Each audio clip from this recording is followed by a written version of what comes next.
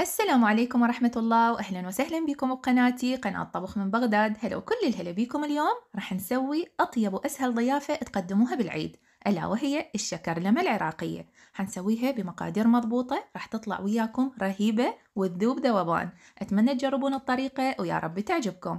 قبل ما نبدي إذا كانت هذه أول مرة تشوفون بها قناتي أتمنى تشتركون بها وتنورونا إذا حبيتوا الفيديو لا تنسون تخلونا لايك من إيدكم الحلوة. وهسه حنقول بسم الله ونبدي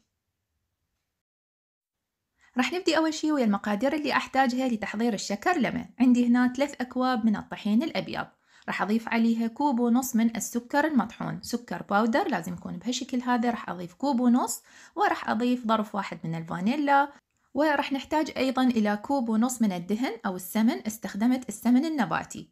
الكوب اللي قست بيه الطحين نفسه قست بيه السكر والدهن يعني استخدمت كوب واحد لقياس كل المكونات.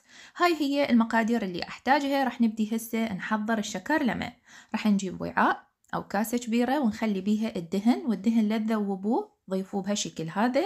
وأضفت عليه السكر المطحون أو السكر ال powder وضفت أيضا الفانيلا مثل ما شفتوا. راح نبدي هسه نعجن المكونات مع بعضها إلى أن تتلابس. أما تعجنوها بإيدكم مثل ما أنا دا أسوي أو تقدرون تستخدمون خلاط الكيك.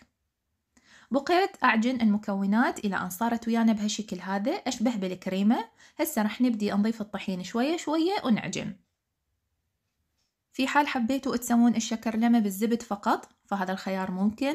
زبد ودهن أيضا ممكن أو تسووها بالدهن فقط. ذيش المرة إحنا سويناها بالزبد هالمرة سويت لكم إياها بالدهن. إن شاء الله تجربوها وتعجبكم. مثل ما تشوفون دا أضيف الطحين شوية شوية وأعجن المكونات مع بعضها إلى أن تتلابس عندنا العجينة. لازم نوصل مرحلة إنه من نعجن العجينة ونلمها بهالشكل هذا الطاسة اللي دا نعجن بيها أو الكاسة أو الوعاء يصير عندنا نظيف وكل العجينة تلم قطعة واحدة وتصير أشبه بالطين الاصطناعي. معناها العجينة مالتنا صارت مضبوطة. راح نجي نفحصها ناخذ كرة ونضغط على هذه الكرة. إذا شفنا إنه أثناء الضغط العجينة عندنا داير ما داير هاي الكرة ما تفطرت معناها مضبوطة وكل المقادير مالتكم صحيحة. إذا شفتوا إنه العجينة عندكم تفطرت معناها الطحين مالتكم أكثر من نسبة الدهن فلازم تخلون دهن شوية وتعجنوها إلى أن تتلابس وياكم لأنه أثناء الشوي راح تتفطر ويصير شكلها ما حلو. بعدين راح نبدي هسه نشكل القطع نجيب قالب نخلي بيه ورق زبدة. ونبدي نشكل كرات صغيرة كرات كبيرة حسب أنتو القياس اللي عاجبكم. لكن بقوها بشكل كرة لأن هي أثناء الشوي راح تتمدد وتاخذ عندنا شكل الشكرلمة الحلو. شكلت هسه الكرات مثل ما تشوفون وطبعا لا تنسون تتركون مسافة بين القطع لأن مثل ما قلت لكم راح تتمدد أثناء الشوي. كملت إعداد أول قالب هسه راح نزينه بشوية من اللوز. أو الفستق الأخضر حسب رغبتكم. راح نسوي هسه الشكلين مجرد نخلي قطعة اللوز بهالشكل هذا ونضغط عليها ضغطة خفيفة.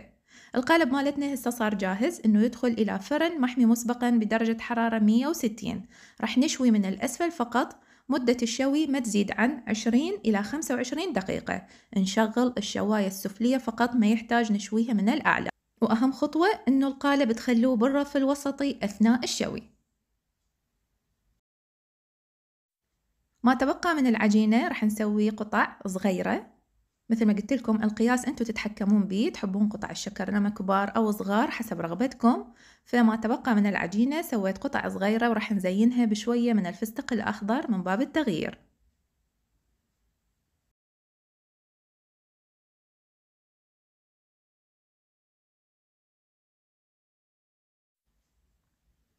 وهذا شكل الشكرلمة مالتنا الحلوة بعد أن طلعت من الفرن. طبعا ريحتها تفحفح ريحة الفانيلا رهيبة. تقدرون أكيد تسووها بالهيل المطحون بدل الفانيلا. إذا حبيتوا أيضا ممكن والطعم كلش طيب يطلع وياكم.